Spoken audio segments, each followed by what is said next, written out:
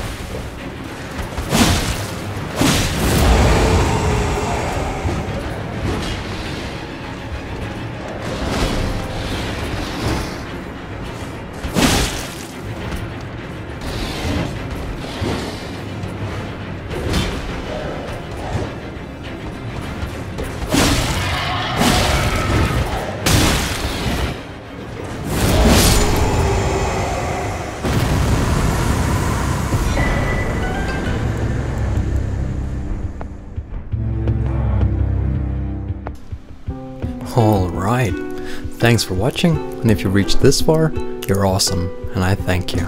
A like is greatly appreciated, and I wish you all a wonderful day.